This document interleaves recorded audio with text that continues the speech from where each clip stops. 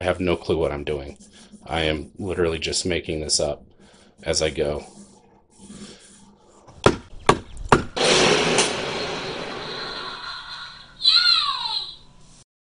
Welcome back to Factor 85 Labs.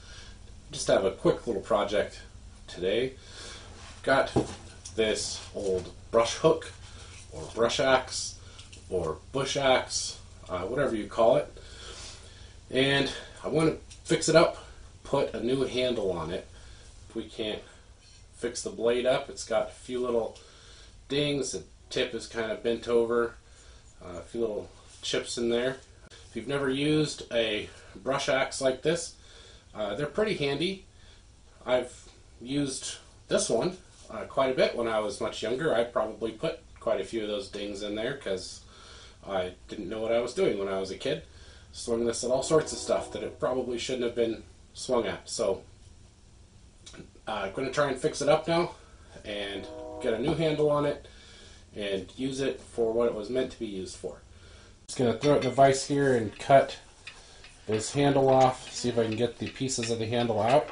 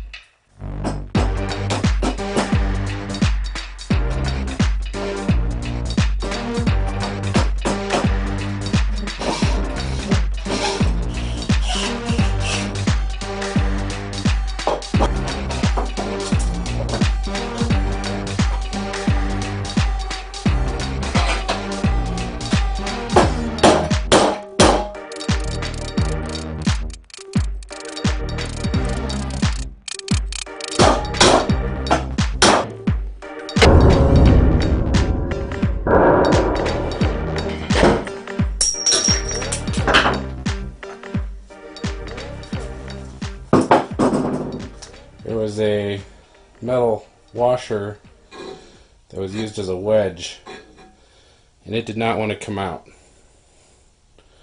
So that was in there. Screwdrivers aren't made for that, guys. Don't don't use your screwdrivers for hammering on.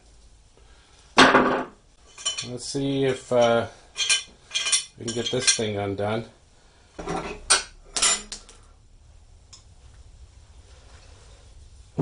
Was surprisingly easy.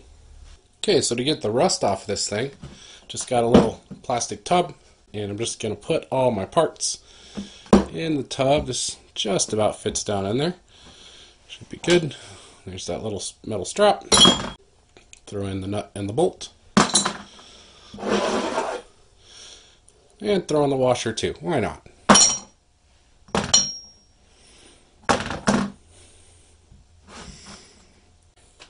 Then I'm going to pour white vinegar over top of this just to cover everything.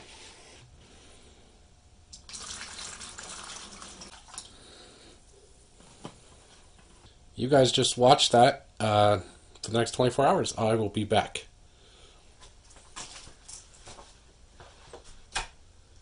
And we're back.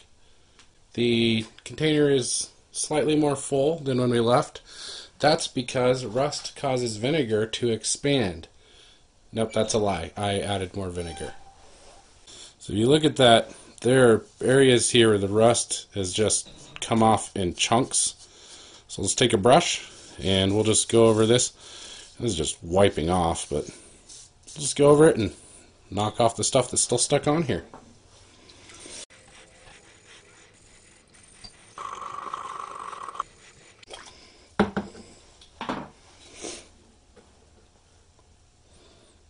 Go.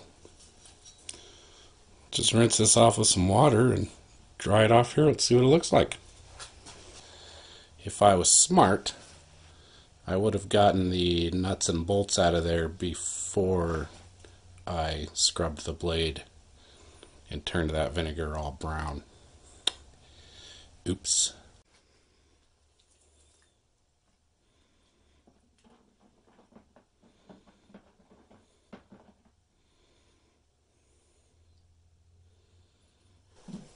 Okay.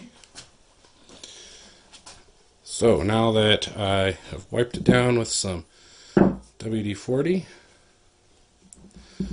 Let's take a look at it. Just look at it. If anyone cares, there's the only markings on there.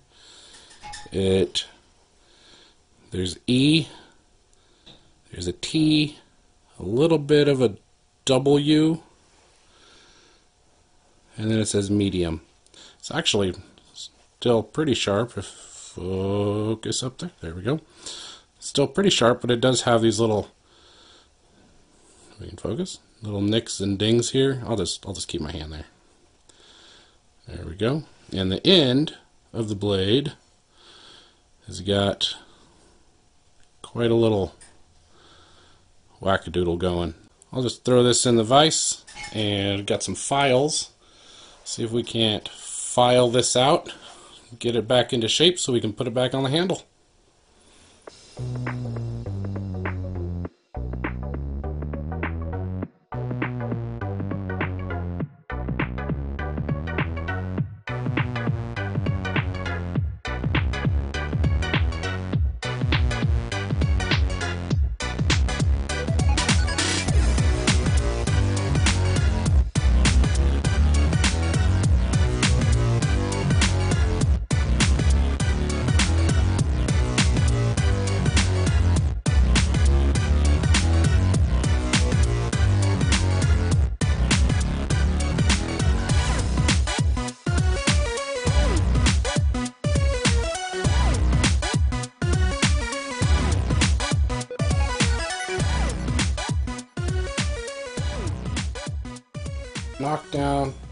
Rough spots, got that tip straightened out, and then I just took a little uh, diamond stone and went along and made sure all the burrs were gone. So it's back in decent shape, and it's fairly sharp. And I know you probably are leaving a comment telling me that that is not how you sharpen this but that's what I had to sharpen it with. So, you know how when you go in an old house, how all the doorways just seem too skinny, and you wonder, how did people fit in these doors? It's because people used to be thinner. That's true of axe handles too. They just used to be thinner. No, that's not true at all. This axe handle just needs is a little wide, so I just need to trim a little bit off here. We'll just uh, kind of shave this down, come back and it should fit right in there.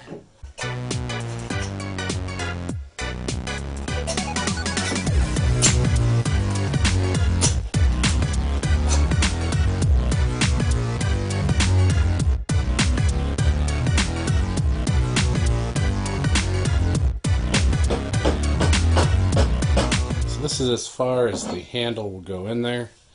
It is most of the way up, but that's as far as I can hammer it on. So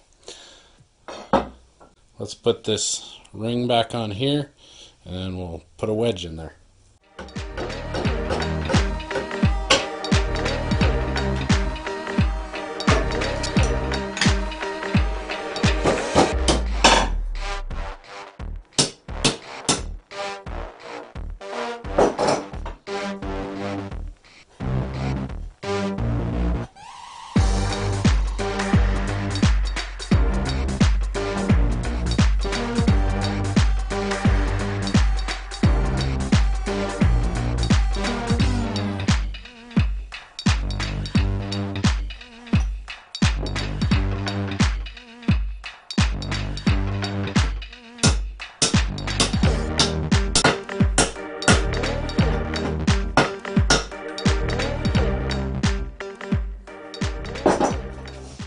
Let this dry up.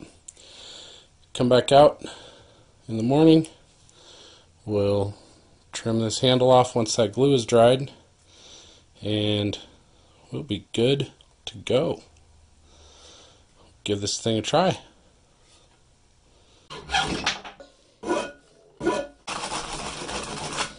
Now we just got to give it a try. Make sure it still works. I don't have much brush that needs to be cut, but I've got this big tree branch that fell down last week.